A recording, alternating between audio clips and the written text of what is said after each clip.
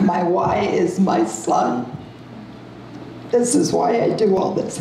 For all of you that are veterans, you are all with us. We will help any of you that I can. I love you all, and that's my why. Right back there in the room.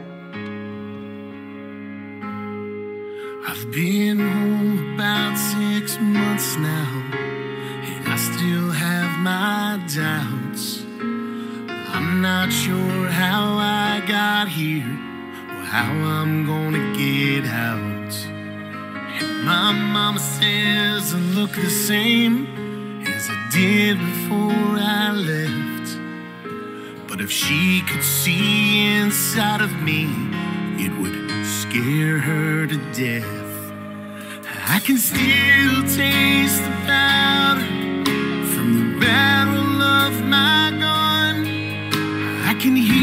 my sergeant screaming,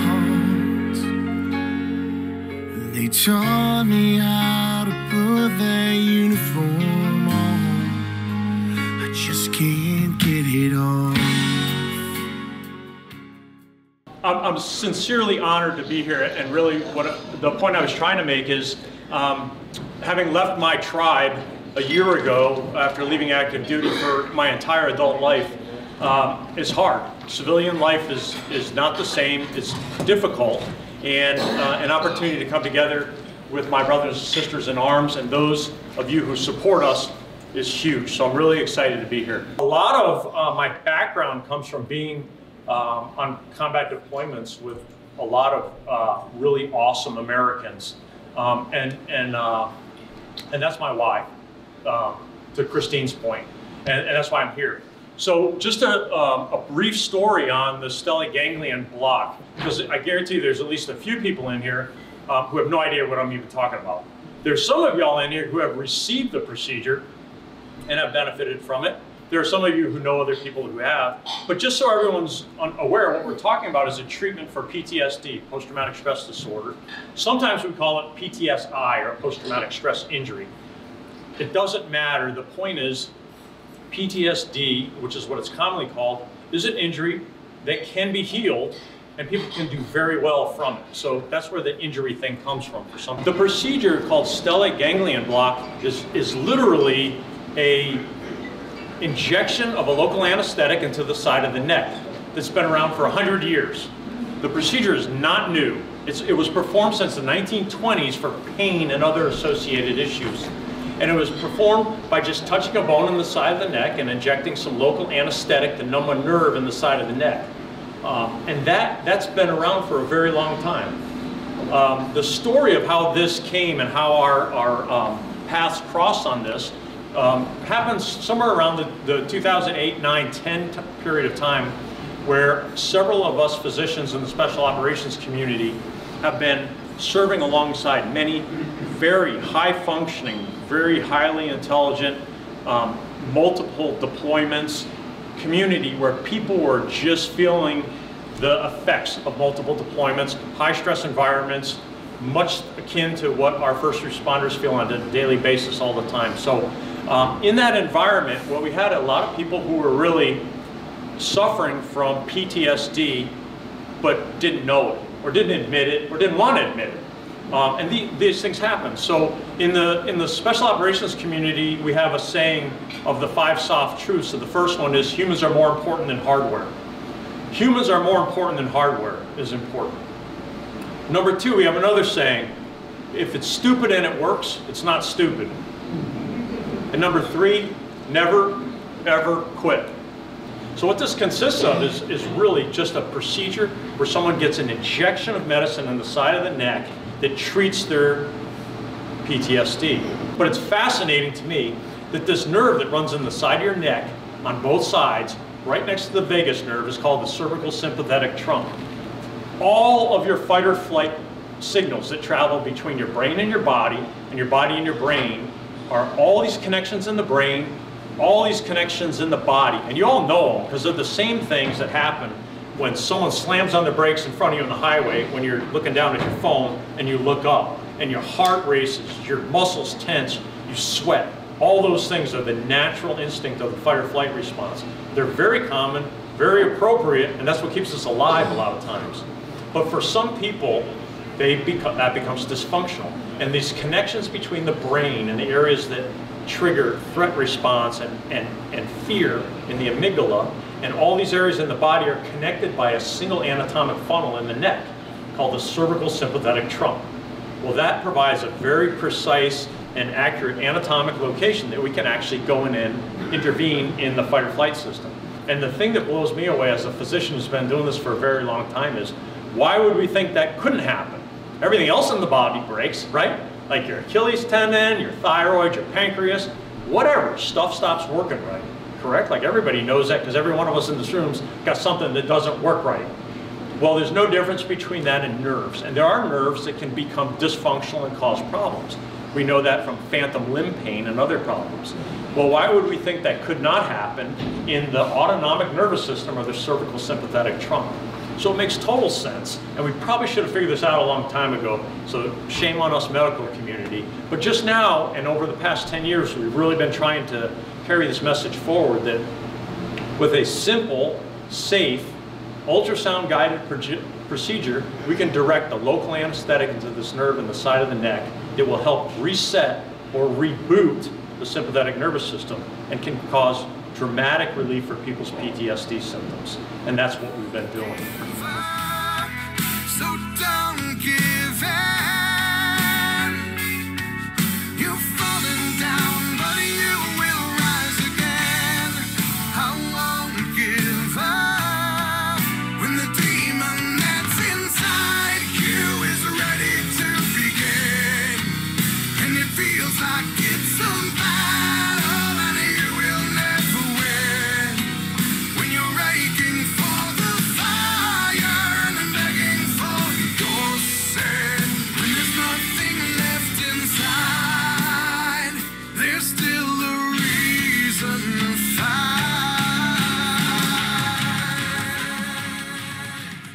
I actually have had the injection done twice now, so I'm going to talk about my experience between the first time having it done and my second time. Uh, I did all the things Dr. Lynch said not to do after my first injection. I, I took that euphoria of the release of the immediate impact of the injection and how good I felt and that feeling of I don't need treatment, I don't need to do anything different in my life. This feeling's just gonna last the miracle worked, it's going to just last forever. I was letting events in my life and things that were happening were, were back to impacting me in a way that I couldn't handle anymore. And like Dr. Lynch said, I, I knew how to reach out for help. I'm not one to ask for help, and I didn't ask for help. And it, I went back to a spiral again. And I found myself back into uh, inpatient PTSD treatment, and kind of back to, to ground zero, back to scratch. And I was ready to give up. And I kind of made that decision in my head where I wasn't going to give up completely because I have a daughter and I live for her. And she's the only reason why I live. But I gave up and trying, essentially. I was just going to exist and not live. So whatever goals and aspirations I had in life, I just kind of threw them away. And once again, like she did the first time, it was just a random phone call and Chris asked how how are you doing? And I said, good. you know, everything's great. I'm alive. And that's all, all that really mattered. And she saw right through my BS. And she said, what's, what's going on? And I, started to tell her. And I was at Dr. Lynch's office, I think it was two days later. And we were, we were back there. And this time on my second round, the first time I had the injection done, I just had it on one side of the neck. And this time, me and Dr. Lynch talked about it, and he recommended going both sides of the neck. It was excellent, just like the first time, but even more so this time. And this time, because I had a relationship, what I didn't have the first time, I went to New York City for the first one, I didn't have a relationship with the staff that got me the injection. And being able to sit with Dr. Lynch, knowing what he went through, and he understood where I was coming from and exactly where my struggles were, and that conversation and that ability to connect with him, to connect with the staff, really gave me that, that extra push to dedicate myself to, okay, you have the tool now, but now you have to make it work for yourself. And so it's about what I, it was my responsibility now. Chris did her, do, her job. Dr. Lynch did his job. My family did their job because they didn't abandon me. Now it was up to me to, to make it work. And that's what I did. I committed myself to CPT. I didn't do it at Ohio State, but did it through the VA. I did intensive outpatient therapy. Went through that whole program. I continue with my doctors today. I continue with my medical staff. I actually listen to what they have to say and take their advice and not think I just have it under control. Um, and I reached out more to my peers in my community. And that was one of the things that fades away just as quickly. You know, we, I, this room, we are a, a huge fan of the veteran community as a family. But when you start to head down that path and you feel like you don't have anybody, even the brothers you serve with, you don't want to reach out to them. I know you're there, Chris. but you don't want to reach out to them because you almost feel a sense of guilt, you feel shame, you feel weak, and most importantly, you just feel vulnerable.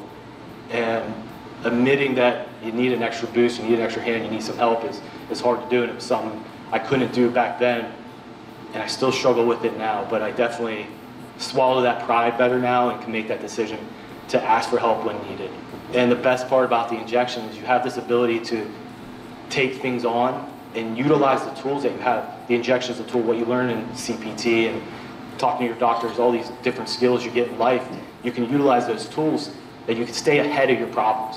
Because you still go through all the ups and downs of everyday life, the roller coasters of stress and emotions and everything, but now you have that capacity to handle them in a way that you're going to end up reaching your end goals. And one of my goals was to, to go to my dream was to go to Notre Dame. We grew up here with my family. Notre Dame football is a religion in my family. There's no other way to say it. I never thought I would be, I mean, it was a dream to ever think I'd actually walk onto that campus other than a visitor. And I am in, uh, I'm getting my master's there now. So I'm a couple semesters into it.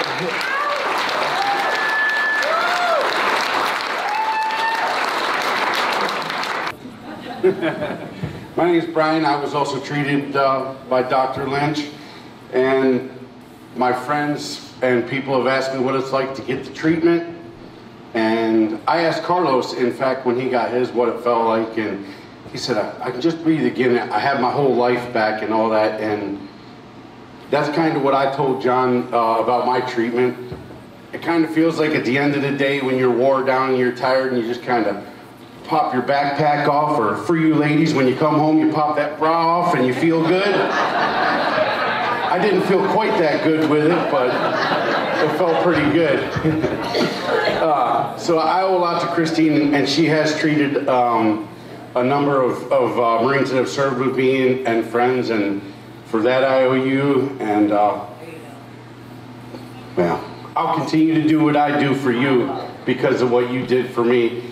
I take it home to my kids, to my wife. Um, I don't know why I did it. I, everything, I, I took it all out on my wife. And God bless her for, for staying with me. I really appreciate it.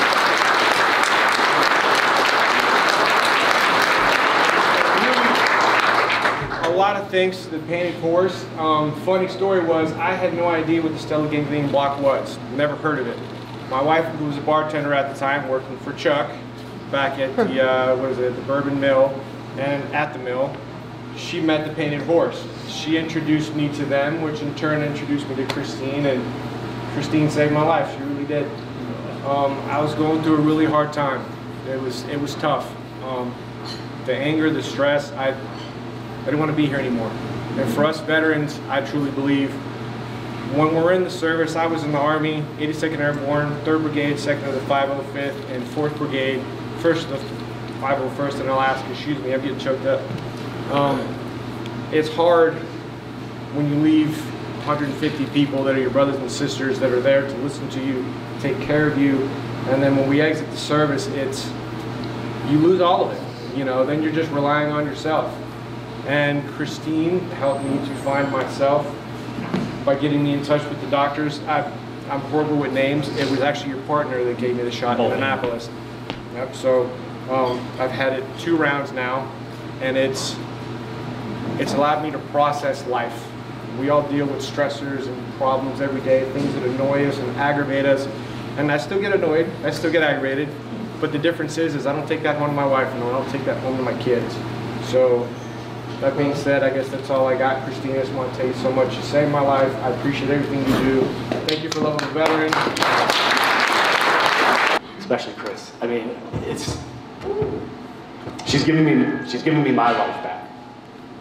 She's giving me my life back, and she's given my daughter her father back, and my parents their son back, and my sister her brother back, and that's all that matters.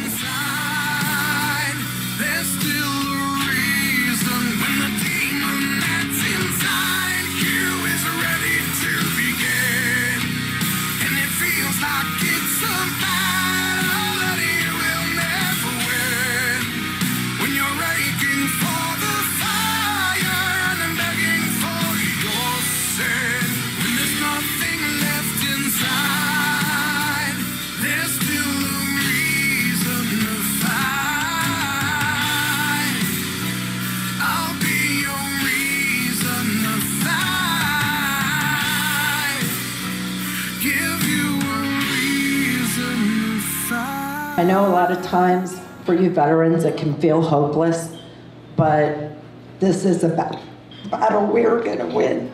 We are here for you guys. Just reach out to us.